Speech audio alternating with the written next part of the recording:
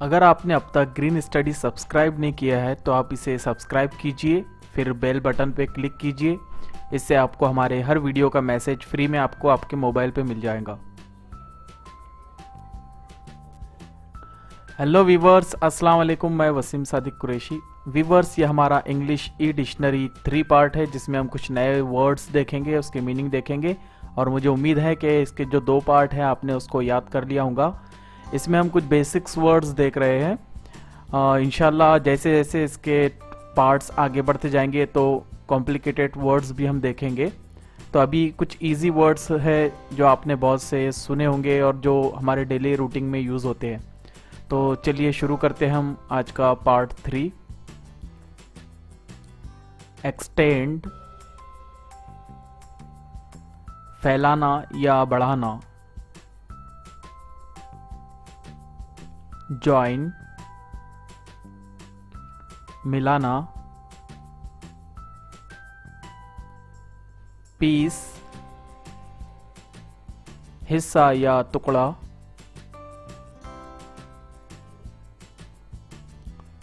Flow chart जारी होना या इसकी एक डायग्राम भी होती है जिसमें फ्लोट चार्ट बताए हुए थे, जिससे तीर के निशान से हम बताते हैं कि इसके बाद ये, फिर ये फिर ये, उसको भी फ्लो चार्ट कहते हैं। प्रोग्रेस तरक्की स्पॉट दाग या निशान। ओरल जबान से या फिर जबानी डायग्राम्स खाका टास्क काम सर्टेन काबिल एतबार या ज़रूर। साइलेंट। चुप या खामोश। इंस्ट्रक्शन। हिदायत। नरेटर।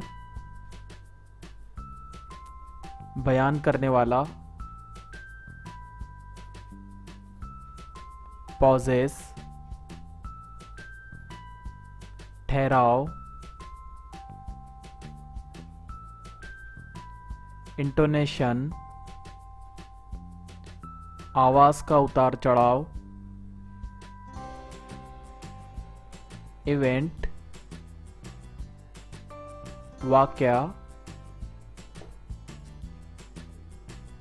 स्टेटमेंट्स